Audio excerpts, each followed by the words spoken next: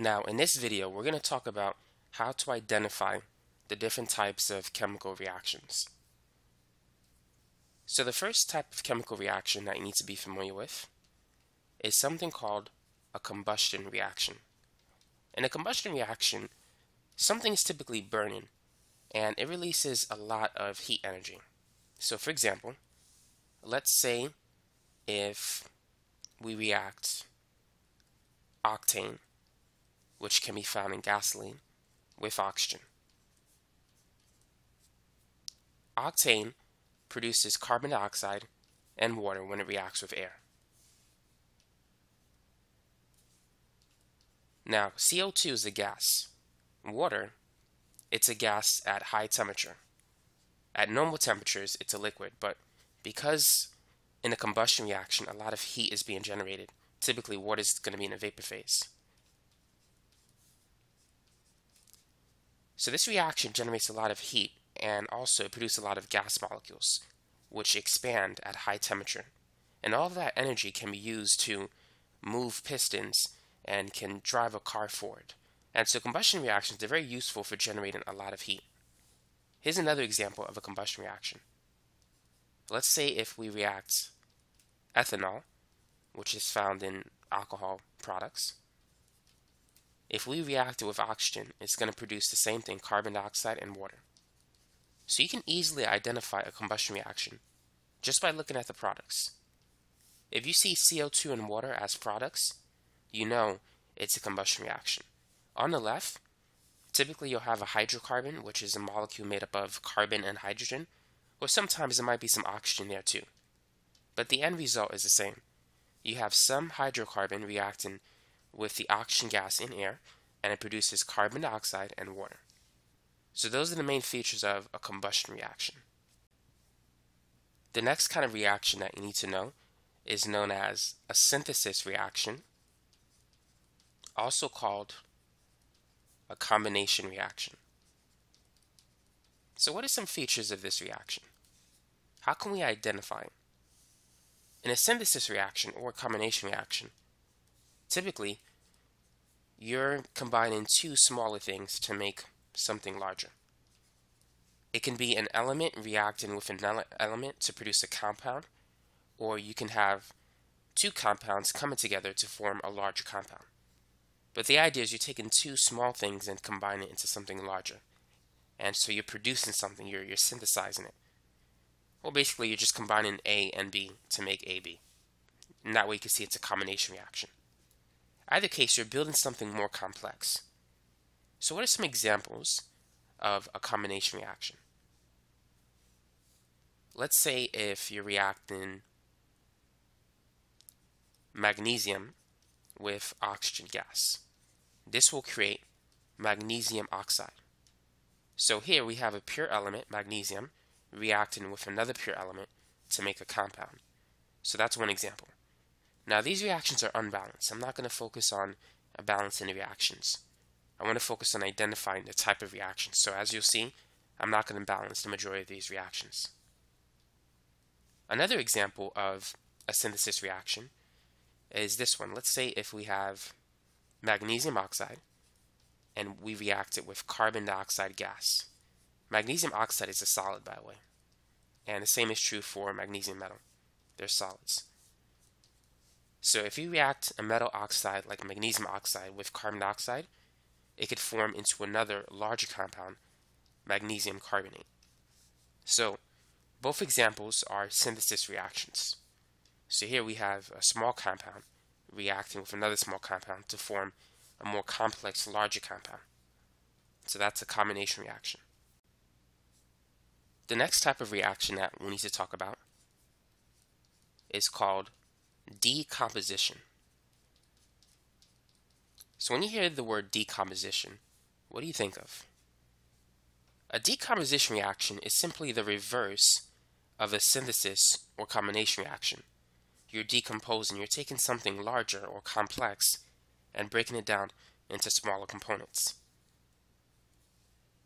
So let's say if you have a product, or I mean a reactant AB, you're going to break it down into A plus B.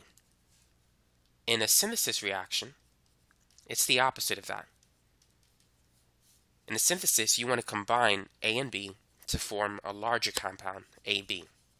So just think of a decomposition as the reverse of a synthesis or a combination reaction. So what are some examples of a decomposition reaction? Now we talked about forming magnesium carbonate, but it turns out that if you have a metal carbonate and if you add heat to it, you can get the metal oxide back. Heat will cause the volatile element, which is uh, CO2, it's going to cause the volatile component of magnesium carbonate to escape into the air. So when you add heat, you're going to cause the gas to leave uh, the magnesium carbonate system. So heat will drive away CO2. Here's another example. Let's say if you have mercury oxide, and if you add heat to it, any volatile component in this compound will leave. So this will create liquid mercury, which is a metal, and it's going to generate oxygen gas, which is going to leave, especially if you heat it up too. Another example of a decomposition reaction is water. If you add electricity to water, if you run an electric current through it, it can decompose into hydrogen gas and oxygen gas. So that's a decomposition reaction. So in a decomposition reaction, you could take a complex compound and break it up into two smaller compounds, or you can take a compound and decompose it into two simpler elements. So that's a decomposition reaction, and here is the general equation for it. AB turns into A plus B. Now let's say if we have a metal hydroxide, in this case calcium hydroxide, what do you think is going to happen if we add heat to it? If you add heat to calcium hydroxide, very similar to magnesium carbonate, anything that's volatile will leave the reactant. This is going to produce calcium oxide and water vapor. If the temperature is higher than 100 degrees Celsius, water is going to be in its vapor form. It's going to be a gas. If it's lower than 100, then it could still be in its liquid form. So let's say if we have the reverse reaction. If we react magnesium oxide with water, this can produce magnesium hydroxide. Now, which one is, rather, what kind of reactions do we have here? The first one, is it a combustion reaction? Is it a synthesis reaction?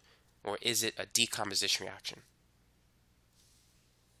So in the first one, we can call this AB, and it turns into A plus B.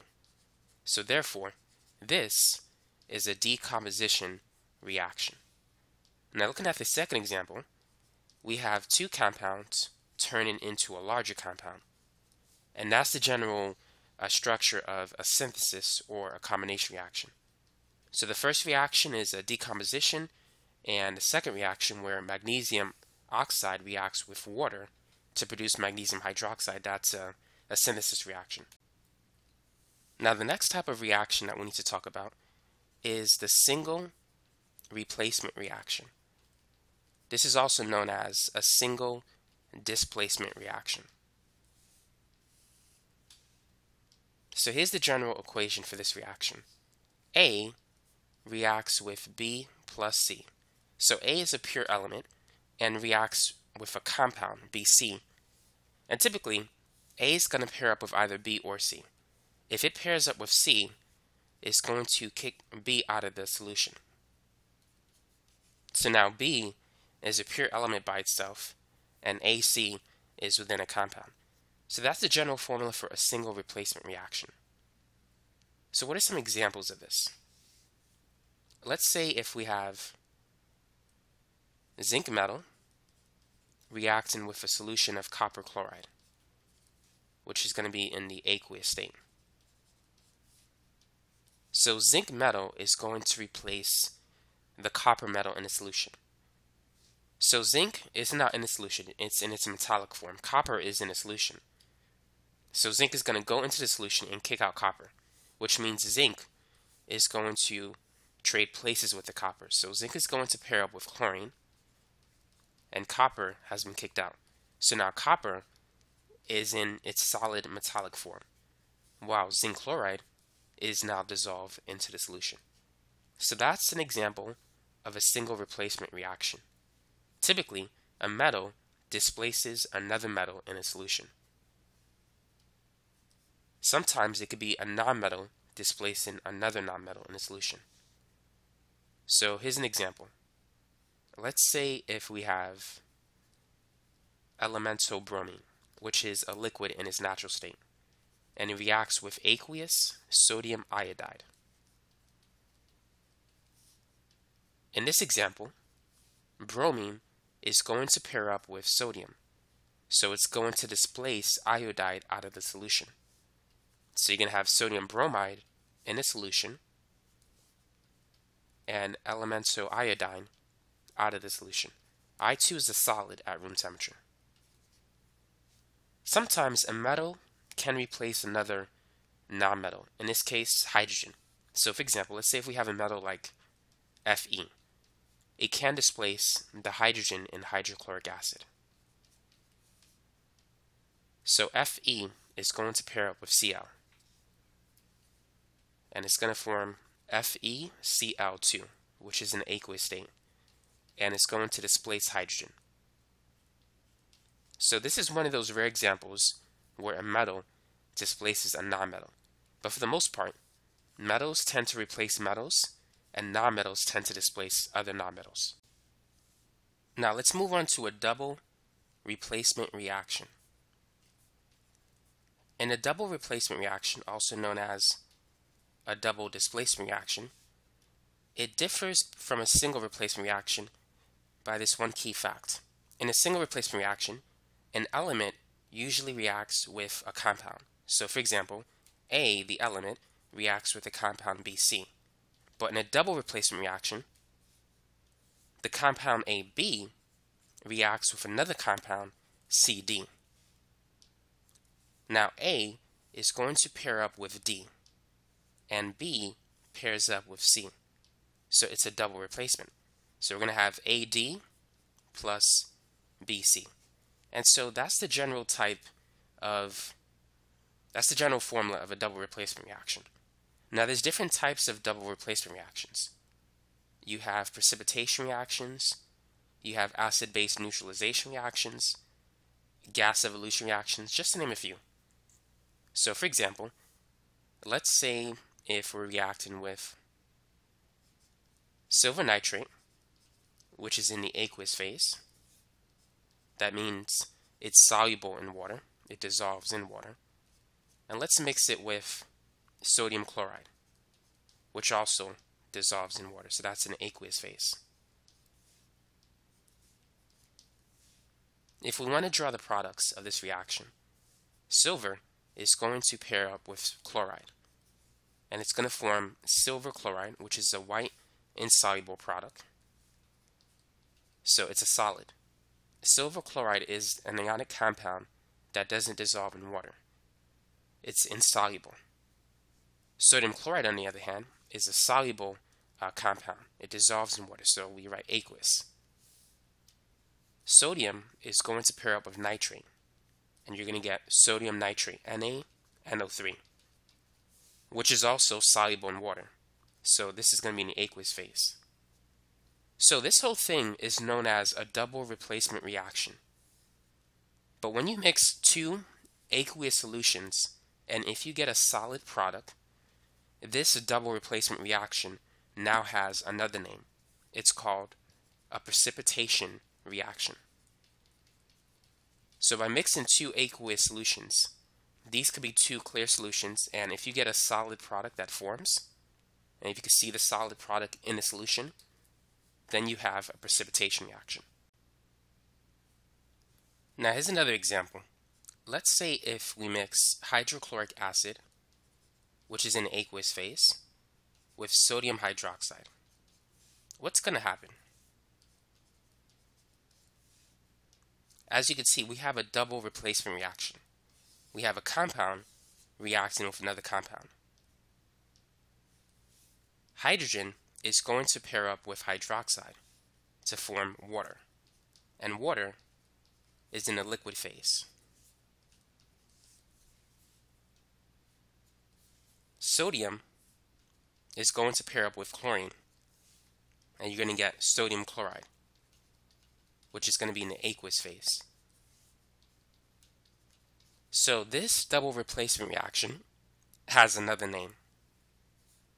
HCl is an acid. It's hydrochloric acid. Sodium hydroxide is a base. When you mix a strong acid with a strong base, you're going to get salt and water. Sodium chloride is found in table salt.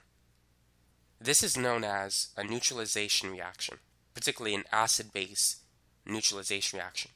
You're mixing two aqueous solutions, one is an acid, one is a base, and you get a neutral water and salt. So that type of double replacement reaction is an acid-base neutralization reaction. So what about this one? Sodium sulfide in the aqueous state reacts with hydrochloric acid, which is also in the aqueous state, and it's going to produce. So sodium is going to pair up with chlorine to make sodium chloride, which is also an aqueous state. And then hydrogen is going to react with sulfide to produce H2S. Hydrosulfuric acid is a gas. So this particular type of double replacement reaction, when you mix two aqueous solution and you get a gas, is known as a gas evolution reaction. So that's another type you need to be familiar with. Now what about this one? Let's say if we have sodium chloride in the aqueous phase, and let's say it reacts with potassium nitrate in the aqueous phase.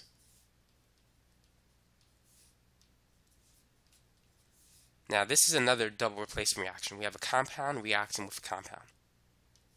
To draw the products, sodium is going to pair up with nitrate. And it's going to form sodium nitrate, which is also soluble.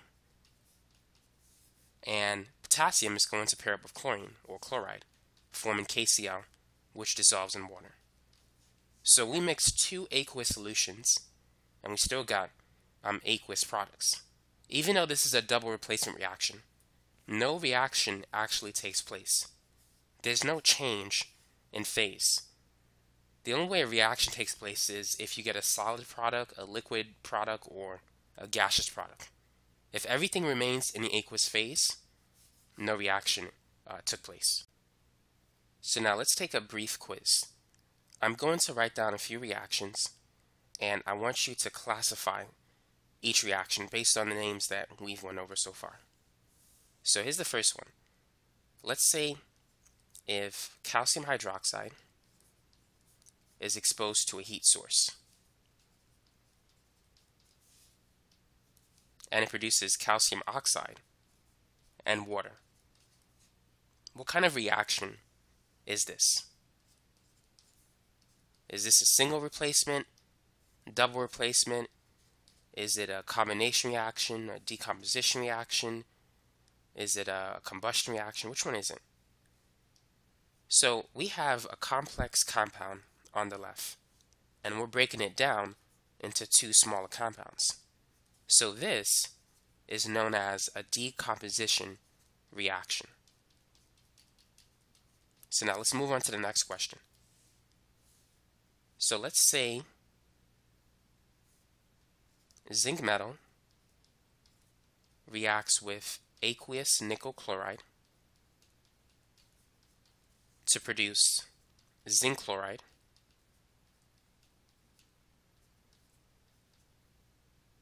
and nickel metal. What type of reaction do we have here?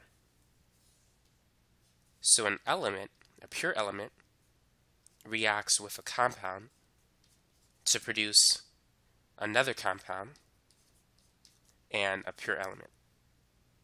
This is known as a single replacement reaction. Zinc replaced nickel in the reaction. So only one replacement actually took place. Here's another one. Barium oxide reacts with carbon dioxide to produce barium carbonate. So what type of reaction do we have here? So we have two compounds joining up together to form a larger compound. This is known as a synthesis reaction or a combination reaction. So that's the answer for that one. Now what about when hydrogen peroxide converts into hydrogen gas and oxygen gas? What kind of reaction do we have here? So we have a compound breaking down into two pure elements. This is called a decomposition reaction. By the way, hydrogen peroxide will naturally uh, do this. If it's exposed to air and sunlight, it can naturally break down into hydrogen gas and oxygen gas. Try this one. Lead nitrate, or rather lead 2 nitrate, reacts with sodium chloride to produce lead 2 chloride and sodium nitrate. Lead nitrate is soluble. It's in an aqueous phase. And the same is true for sodium chloride and sodium nitrate. Lead chloride doesn't dissolve in water. It's insoluble. So what we have here is two aqueous solutions mixing to form a solid product. So notice that lead paired up with chlorine to form lead 2 chloride. Nitrate paired up with sodium to form sodium nitrate. So this is a double replacement reaction. In this example, lead replaced nitrate to pair up with chlorine and sodium replace chlorine to pair up with nitrate. So we have a double replacement going on here. Now as we can see, you can also see it this way. We have a compound, AB, which is lead nitrate. It reacts with another compound, CD, that's sodium chloride, to produce. So A got together with D to form AD, that's lead chloride. And the two in the middle, B and C, got together to form uh, BC, or in this case, actually CB, where C is for sodium. And so whenever you see that general reaction, you know it's a double replacement reaction, or you can call it a double displacement reaction if your textbook uses that term. So that's a quick way to identify it. You have a compound reacting with another compound. Now, there's another name for this double replacement reaction. Whenever you mix two aqueous solutions, and if you get a solid product that forms, this double replacement reaction is also called a precipitation reaction. So that's another name for it.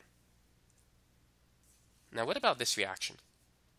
Chlorine reacts with sodium bromide to form sodium chloride and bromine. Chlorine is a gas. Bromine is a red liquid. Sodium bromide and sodium chloride they dissolve in the solution. What kind of reaction do we have here? So we have a pure element, which is chlorine, and it reacts with a compound, sodium bromide. When you see that, you know it's a single replacement reaction. By the way, all single replacement reactions are redox reactions, and all combustion reactions are redox reactions. A redox reaction is a reaction where you have a transfer of electrons. You have oxidation, which is a loss of electrons, and reduction, which is a gain of electrons. We won't go into it much, but I just want to let you know that all single replacement reactions are redox and all combustion reactions are redox. A double replacement reaction is never a redox reaction. Now, as for decomposition reactions and synthesis reactions, if you have, let's say, in a decomposition reaction, a compound break it down into pure elements, then it's a redox reaction. And the reverse is true. In a synthesis reaction, if you have two pure elements combining to form a compound, it's a redox reaction. Now, if you have a large compound breaking into two smaller compounds in a decomposition reaction, chances are it's probably not a redox reaction. And the reverse is true for a combination reaction. If you have two smaller compounds reacting to form a larger compound, chances are it's not a redox reaction. So that's for those of you who are also studying redox reactions if you need to know that. So now let's get back to this. A plus BC. So A is going to pair up with C. In this case, rather, A pairs up with B. B is uh, sodium and A is chlorine. So here we have Ba, and then C is by itself. So in this example, we have a nonmetal displacing another nonmetal in the solution. So chlorine displaces bromine, and chlorine pairs up with sodium to form sodium chloride. So that's a single replacement reaction. Now what about this one? Methane, also known as natural gas, reacts with oxygen gas to produce carbon dioxide and water. What type of reaction do we have here? Anytime you see CO2 and water, and if you have a hydrocarbon on the left, this is a combustion reaction, which is also a redox reaction. Now what about this one? Potassium chlorate is exposed to heat and then it forms potassium chloride and oxygen gas. What type of reaction do we have? So here we have a complex compound, AB, and upon heating it, it breaks down to two smaller compounds, A and B. But in this case, B is a pure element and A is a compound. So this type of reaction is also a redox reaction. Anytime you could produce a pure element from a compound, it's going to be a redox reaction. But this particularly, the name that we're looking for, is a decomposition reaction. We're taking a complex uh, compound and we're breaking it down to two smaller components, A and B. So potassium chlorate is undergoing thermal decomposition to produce oxygen gas and potassium chloride. Now what about this one? Sulfuric acid reacts with potassium hydroxide to produce water and sodium sulfate. So what kind of reaction do we have here? Sulfuric acid is in the aqueous phase, and the same is true for potassium hydroxide. They dissolve in water. And water is in the liquid phase. Sodium sulfate is soluble it dissolves in water, so it's in the aqueous phase. Sulfuric acid is a compound, AB. Potassium hydroxide is also a compound. So we have two compounds reacting with each other. This is called a double replacement reaction. Whenever you have two compounds reacting with each other, it's a good indication that you have a double replacement reaction. So in this example, we can see that hydrogen paired up with hydroxide to produce water. So that's A getting together with D to form AD. And then potassium pairs up with sulfate. And for some reason I wrote sodium sulfate, so that's my mistake. That was supposed to be potassium sulfate. Let me just uh, put that here, K2SO4. That's what the product should have been. But it's still a double replacement reaction. And so C pairs up with B, producing a CB. Now there's another name for this type of reaction, in addition to being called a double replacement reaction. Sulfuric acid is a strong acid. Potassium hydroxide is a strong base. These two are getting together to form salt, which is potassium sulfate. It's a type of salt. Almost all ionic compounds are considered salts. So it's producing salt and water. So this is called an acid-base neutralization reaction. So when you mix two aqueous solutions, and if you get a liquid product, and if this is an acid and this is a base, then typically it's going to be an acid-base neutralization reaction. Now let's move on to our next example. Magnesium metal reacts with nitrogen gas in the air to form magnesium nitride. Perhaps you performed this experiment in class. If you take a strip of magnesium metal or one of those magnesium ribbons, if you burn it in air, it produces this very, very bright, brilliant light. You gotta be careful because uh, ultraviolet light also is produced from it. And this is the reaction that's happening. When you burn magnesium metal in air, it can react with the nitrogen gas in air. And so it produces magnesium nitride. So this type of reaction,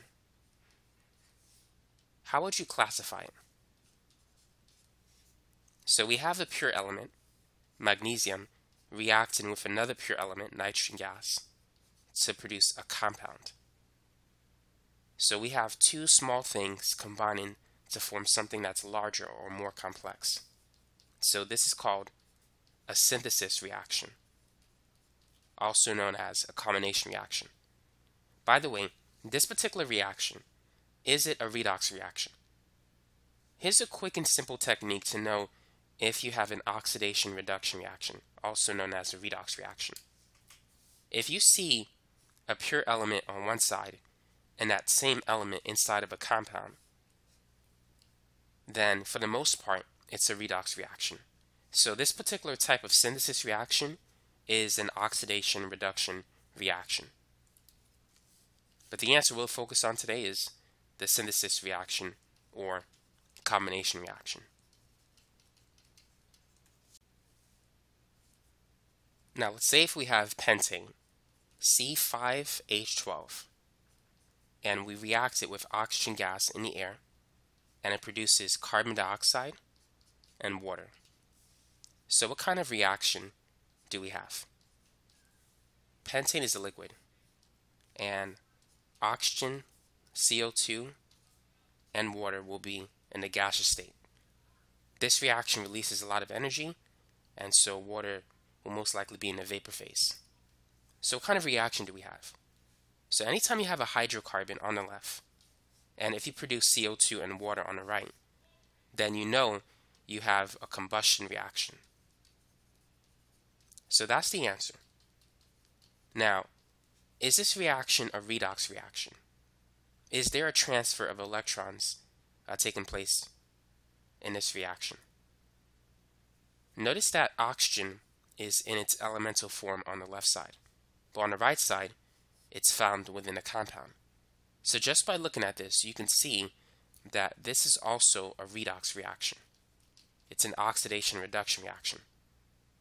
So all combustion reactions are redox reactions. Now what about this one? Let's say if we have sulfurous acid and upon heating it, it turns into liquid water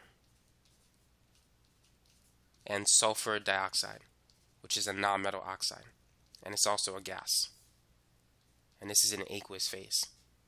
What kind of reaction do we have here? So this is a decomposition reaction. So we have a complex compound, AB, and it's breaking down into two smaller compounds. So it's a decomp reaction. Now this particular decomposition reaction, is it a redox reaction? Notice that we have no pure elements on any side of the reaction. All the elements are in the form of a compound. And when you see this, typically, this is not a redox reaction. If there's no pure elements anywhere, chances are it's not a redox.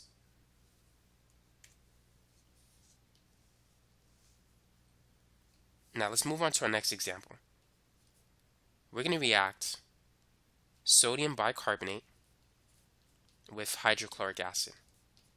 And in this reaction, we're going to get sodium chloride, water, and CO2.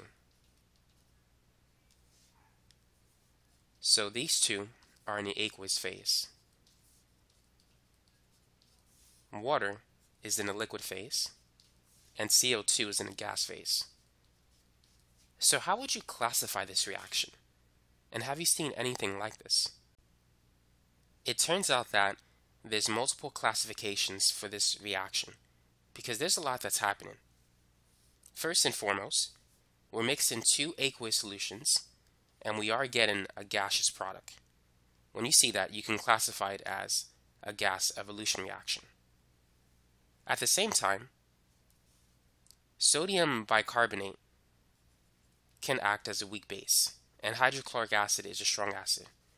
And we do get water, which is a feature of an acid base neutralization reaction.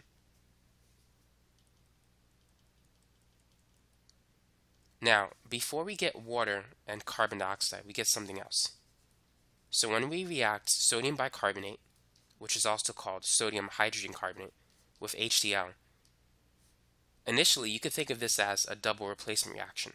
Sodium is going to pair up with chlorine to form sodium chloride.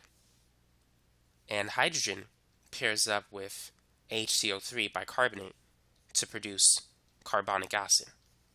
So if you view it this way, this appears to be a double replacement reaction. I wrote that wrong. AB reacts with CD to produce AD and CB. So the first step is a double replacement reaction. Now the second step, carbonic acid, it's unstable, it's an intermediate, and it breaks down into water and carbon dioxide, the two things that we see here. So the second step is a decomposition uh, reaction. But overall, you can think of it as a gas evolution reaction because we do get a gas by mixing two aqueous solutions. So as you can see, there's multiple classifications for this type of reaction. It's a complex reaction.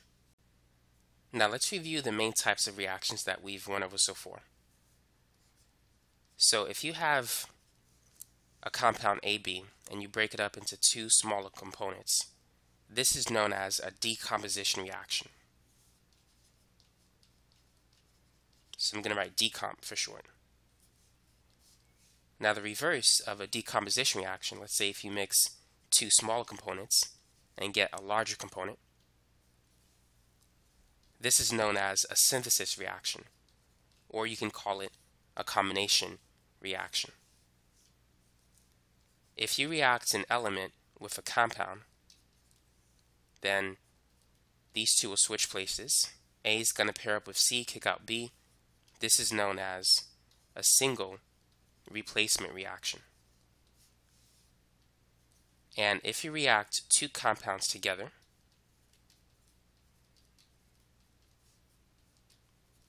this is called a double replacement reaction. And there's three types of double replacement reactions. You have precipitation reactions, which occur when mixing two aqueous solutions to form a solid product. You have an acid-base neutralization reaction when you mix an acid and base, you get liquid water and a salt. And then you have the gas evolution reactions where you mix two aqueous solutions and you get a gaseous product. And finally, combustion. So typically you'll have some hydrocarbon and may have oxygen with it. It reacts with oxygen in the air to produce CO2 and water. So that's a combustion reaction. So those are the main types of reactions that you need to be aware of. Thanks for watching.